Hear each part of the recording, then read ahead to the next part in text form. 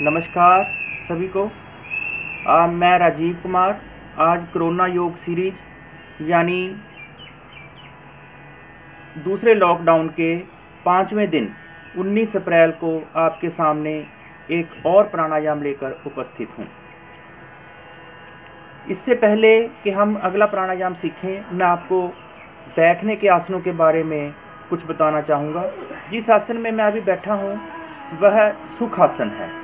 सुखासन में हमारे दोनों पैर हमारे जो है वो ज़मीन को टच करेंगे, जिसको पंजाब भी, पंजाब में आमतौर पे लोग चौंकड़ी कहते हैं। दूसरा आसन है जिसमें हम अपने किसी भी एक पैर को उठा के एक जांग के ऊपर रखते हैं और दूसरा पैर हमारा ज़मीन को टच होता है, इसको हम अर्ध पद्मासन कहते हैं। तीसरा आसन है पद्मासन। पद्मासन हर प्राणायाम को करने के लिए अत्यंत ही लाभकारी है। इसमें जो है, हमारा कोई भी पैर ज़मीन को टच नहीं होगा और दोनों पैर हमारे दोनों जंघाओं के ऊपर रहेंगे। यह प्राण आसन प्राणायाम को करने का सबसे अति उत्तम आसन है। एक और आसन है, जिसको हम कहते हैं वज्रासन। वज्रासन में हम अपने दोनों पैरों को मोड़ के इस तरह, और इस तरह हम बैठते हैं। ये इस आसन में भी हम लोग प्राणायाम कर सकते हैं। खाना खाने के बाद हम तुरंत वज्रासन में बैठें ये हमारे डाइजेस्टिव सिस्टम हमारे खाने को तुरंत जो है वो डाइजेस्ट करता है और हमें मोटापे से बचाता है। तो इस तरह ये वज्रासन में हम दिन में किसी भी टाइम बैठ सकते हैं, लेकिन जो नए लोग हैं वो वज्रासन में बैठने से पहले इसके अपने पैरों के नीचे कोई तकिया या कोई चद्दर ज़रूर रख लें ताकि उनके, उनको बैठने में दिक्कत ना हो। तो जो पांचवा प्राणायाम आज हम करेंगे, उससे पहले जो हमने चार प्राणायाम किए थे, उसका एक सूक्ष्म रूप से मैं आपको अभ्यास ज़रूर करवाऊँगा।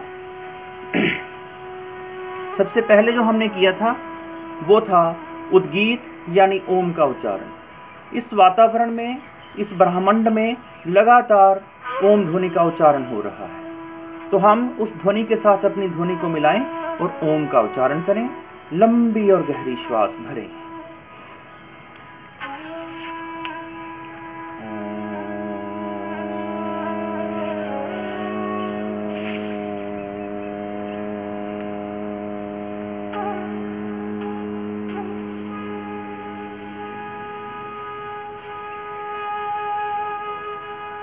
दूसरा प्राणायाम हमने किया था अनुलोम विलोम नाड़ी शोधन प्राणायाम।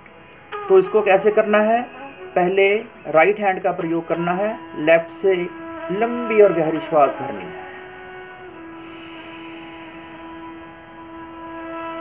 राइट से छोड़ना है।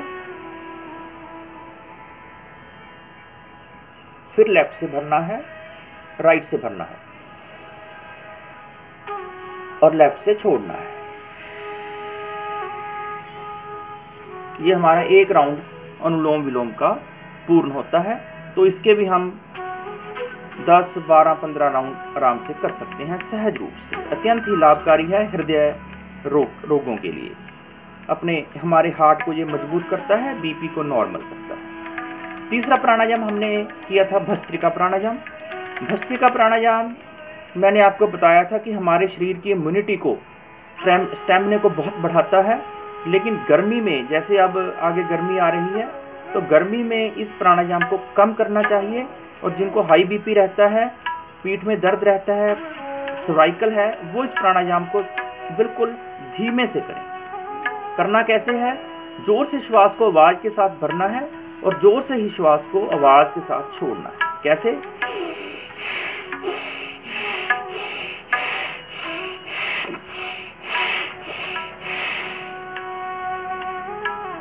तो इस तरह लगभग 20 से 25 बार हम इसको एक राउंड में कर सकते हैं। तो ये भी प्राणायाम हम अपनी दिनचर्या में इसको जोड़ें। चौथा प्राणायाम हमने किया था कपाल भांति प्राणायाम। जैसा कि मैंने आपको बताया था कि ये शुगर के लिए अत्यंत लाभकारी है, हमारे पैंक्रियाज को एक्टिव करता है और इवन ब्रेन ट्यूमर तक को भी ये ठीक करता है।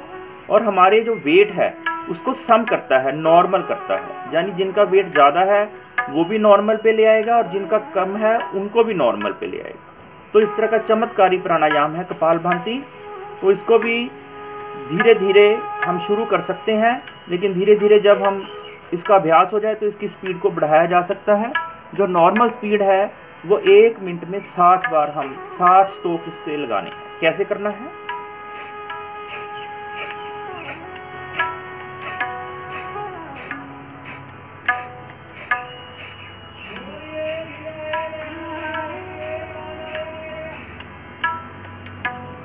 तो इस तरह कपाल भांति प्राणायाम हमने किया।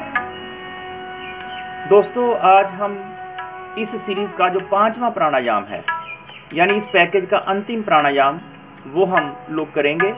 तो उस प्राणायाम का नाम है भ्रामरी गुंजन, यानी भ्रामरी प्राणायाम। जैसे जो भंवरा है, एक फूल के चारों तरफ़ मंडराता है और आवाज़ निकालता है। कैसे? इस तरह की आवाज़ हमने निकालनी है। लेकिन इसमें एक दो बातों का ध्यान रखना है कि आवाज़ करते हुए हमारे दांत खुले रहे। हमारे होंठ बंद रहेंगे, जीभ को अंदर मोड़ना है तालुए की तरफ़, ऊपर की तरफ़। और कमर को सीधा रखना है, श्वास को लंबा भरना है। एक बार देखेंगे कैसे करना है।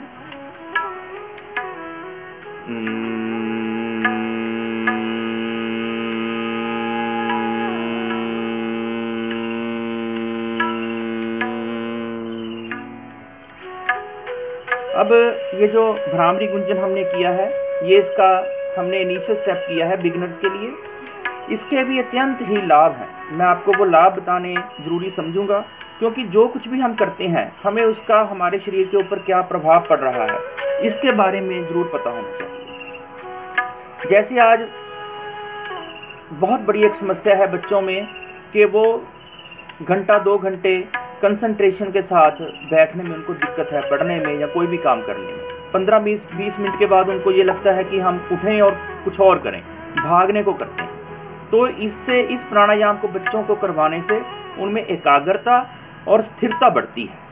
किसी भी काम को करने के लिए ये दो चीज़ें अत्यंत ही आवश्यक हैं, स्थिरता और एकाग्रता। तो बच्चों की इससे स्मरण शक्ति बड़ी बढ़ती है। बच्चा जो भी पढ़ेगा, उसको लंबे समय तक याद रहेगा। तो ये इस प्राणायाम में चमत्कार है। और जैसे आज दुनिया में बहुत बड़ी एक लाइफस्टाइल डिज़ीज़ है, वो है स्ट्रेस की डिप्रेशन की, जिसके लोग, बहुत सारे लोग इसके शिकार हैं और बहुत बहुत दवाइयाँ इसके लिए लेते हैं। लेकिन मैं आपको ये विश्वास दिलाता हूँ कि जिन लोगों को इस तरह की समस्या है, अगर वो इस प्राणायाम को करेंगे तो धीरे धीरे उनको इस समस्या से भी छुटकारा मिलेगा, क्योंकि जब हम भ्रामरी गुंजन करते हैं तो हमारे यहाँ पूरे ब्रेन में अल्फ़ा ब्रेन वेव्स जो हैं वो बनती हैं और जिससे हमारे शरीर में, हमारे ब्रेन में एक पॉजिटिविटी आनी शुरू हो जाती है और नेगेटिविटी निकलनी शुरू हो जाती है। और जिनको नींद नहीं आती रात को, पूरी रात करवट लेते लेते निकाल देते हैं। आप रात को सोने से पहले इस प्राणायाम को पाँच, सात, दस मिनट तक कीजिए। लगातार बेड पे लेट के कर लीजिए, बैठ के कर लीजिए, कोई दिक्कत वाली बात नहीं है। और देखिए आपको कितनी अच्छी नींद आनी धीरे धीरे शुरू हो जाएगी। लेकिन एक मन में सबसे जो महत्वपूर्ण है, विश्वास सबसे महत्वपूर्ण तो ये प्राणायाम अत्यंत ही लाभकारी प्राणायाम है। इसको हम दिन में किसी भी समय कर सकते हैं। उठते, बैठते, अपने ऑफ़िस में बैठे हुए ट्रैवलिंग करते हुए, कोई दिक्कत वाली बात नहीं। जैसा कि हमने पहले किया था, श्वास को भरा और आवाज़ की। अब इसका दूसरा स्टेप है, अगर आसपास शोर ज़्यादा है तो अपने का अंगूठों से कानों को बंद करेंगे। तीन उंगलियाँ हमारी आँखों के ऊपर रखेंगे। एक माथे के ऊपर और लंबी श्वास भरेंगे। उसी तरह आवाज़ भंवरे की तरह निकालेंगे।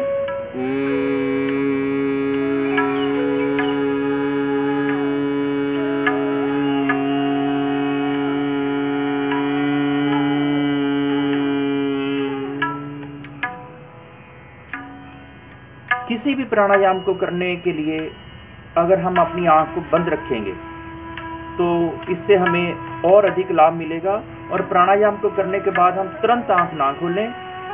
उस प्राणायाम का, उस अभ्यास का हमारे शरीर के ऊपर क्या प्रभाव पड़ा है, इसको हम ज़रूर अनुभव करें और ताकि हमारे मन और हमारे शरीर में एक अच्छी कोऑर्डिनेशन बनी रहे, एक अच्छा समन्वय बना रहे। तो इसी उम्मीद के साथ कि हम लोग इन प्राणायामों को अपने जीवन का और अपने बच्चों के जीवन का एक हिस्सा बनाएँगे। उम्मीद करता हूँ कि हम इनको रूटीन में करेंगे। धन्यवाद। जय भारत।